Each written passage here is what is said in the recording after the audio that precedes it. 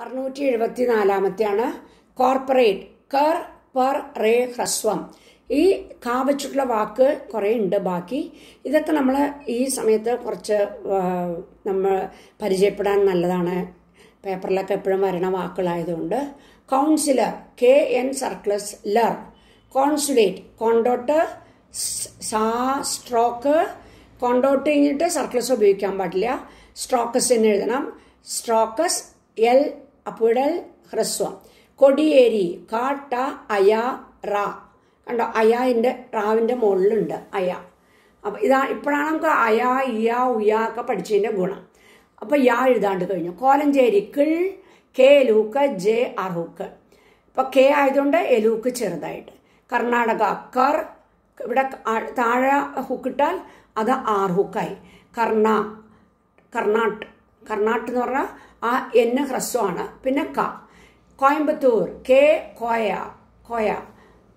ഉണ്ടോ? ഇമ്പ R. Coimbatore. Kuala Lumpur. K. L. ലാന്ന് എടുക്കുമ്പോഴും എപ്പോഴും മുകളിലെ എലൂക്ക് വേണം എഴുതാൻ. പിന്നെ കെ കെ കഴിഞ്ഞിട്ട് എല്ല് താഴോട്ട് എഴുതാൻ നല്ലതാണ് Kuala Lumpur. Kolkata. K. L. K. ഇത്ത. കോഴിക്കോട്. കെ. എഴ. കെ. ഹ്രസ്വം. കൊടൈക്കനാൽ. കൊടൈ.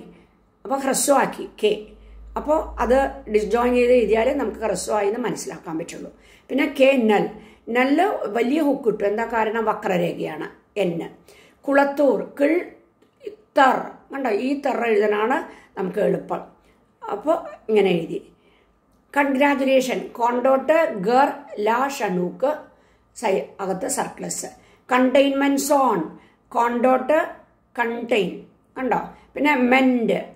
എം ഹാവ്ഡ് എം ഹ്രസ്വം എനൂക്ക് സോൺ സ്ട്രോക്കസ് എനൂക്ക് ഇതൊക്കെ നമ്മൾ പഠിക്കുമ്പോൾ ഇപ്പോൾ ഇടയ്ക്കിടയ്ക്ക് നമുക്ക് കേൾക്കുന്ന വാക്കുകളാണ്. അപ്പോൾ ഇതൊക്കെ വെച്ചുകൊണ്ട് നമുക്ക് ഓരോ വാചകങ്ങളൊക്കെ എഴുതാൻ ശ്രമിക്കാം. എല്ലാവരും ക്വസ്റ്റ്യൻ പേപ്പറും ആൻസർ പേപ്പറും ഒക്കെ എഴുതി എഴുതുന്നുണ്ടാവുമെന്ന് വിചാരിക്കണോ?